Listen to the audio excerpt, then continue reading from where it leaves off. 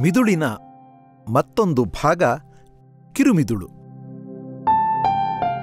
ನಾವು ಕೈಕಾಲು ಆಡಿಸುವ ಕೆಲಸವನ್ನು ಸಾಮಾನ್ಯವಾಗಿ ಕಿರುಮಿದುಳು ನೋಡಿಕೊಳ್ಳುತ್ತದೆ. ಆದರೆ ಬರೀ ನಮ್ಮ ಓಡಾಟವನ್ನು ನೋಡಿಕೊಳ್ಳುವುದಷ್ಟೇ ಅಲ್ಲದೆ ಅದನ್ನು ಸರಿಯಾಗಿ ಮಾಡುವುದು ಹೇಗೆ ಎಂದು ಕಲಿಯುವ ಕೆಲಸವನ್ನೂ ಕೂಡ ಕಿರುಮಿದುಳು ಮಾಡುತ್ತದೆ ಎಂಬುದನ್ನು ಗಮನಿಸಬೇಕು.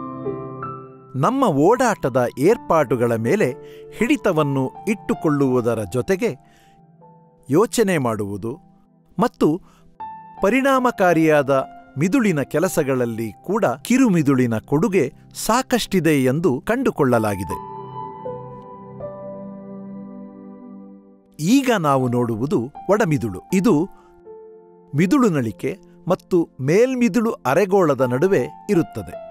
ಒಡಮಿದುಳಿನ ಬಲು ಮುಖ್ಯವಾದ ಭಾಗಗಳೆಂದರೆ ಥ್ಯಾಲಮಸ್, ಅಂದರೆ ಮಿದುಳು ಕೋಣೆ, ಮತ್ತು ಹೈಪೋಥ್ಯಾಲಮಸ್, ಅಂದರೆ ಕೆಳಮಿದುಳು ಕೋಣೆ.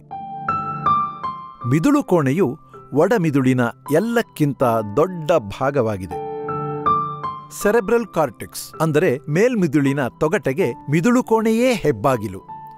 ಮೂಸಿ ನೋಡುವುದೊಂದನ್ನು ಬಿಟ್ಟು ಉಳಿದ ಎಲ್ಲ ಮುಖ್ಯವಾದ ಅರಿವಿನ ಹಾದಿಗಳು ಮೇಲಕ್ಕೆ ತೊಗಟೆಯ ಕಡೆ ಸಾಗುವ ಮುನ್ನ ಮಿದುಳು ಕೋಣೆಯಲ್ಲಿ ಸುಳಿವುಗಳ ಕೊಡುಕೊಳ್ಳುವಿಕೆಯಲ್ಲಿ ತೊಡಗುತ್ತವೆ. ನಡವಳಿಕೆ, ಭಾವನೆ, ನೋಟ, ಚಲನೆಯ ಮತ್ತು ಅರಿವಿನ ಏರ್ಪಾಡುಗಳೊಂದಿಗೆ ಕೂಡ ಮಿದುಳು ಕೋಣೆ ಒಡನಾಟ ಹೊಂದಿರುತ್ತದೆ. ಹಾಗಾಗಿ ಮಿದುಳು ಕೋಣೆಗೆ ಗಾಯವಾದರೆ ಅರಿವು ಮತ್ತು ಓಡಾಟಕ್ಕೆ ತೊಂದರೆಯಾಗುವುದಲ್ಲದೆ ನಾವು ಎಚ್ಚರಿಕೆಯಿಂದ ಇರುವುದು ಕಷ್ಟವಾಗಬಹುದು, ಕಣ್ಣು ಕಾಣದಿರಬಹುದು ಮತ್ತು ನಡವಳಿಕೆಯಲ್ಲಿ ಏರುಪೇರಾಗಬಹುದು. ಹೈಪೋಥಲಾಮಸ್ ಅಂದರೆ ಕೆಳಮಿದುಳು ಕೋಣೆಯು ಮಿದುಳು ಕೋಣೆಯ ಕೆಳಗೆ ಮತ್ತು ಮಿದುಳು ನಳಿಕೆಯ ಮೇಲಕ್ಕೆ ಇರುತ್ತದೆ.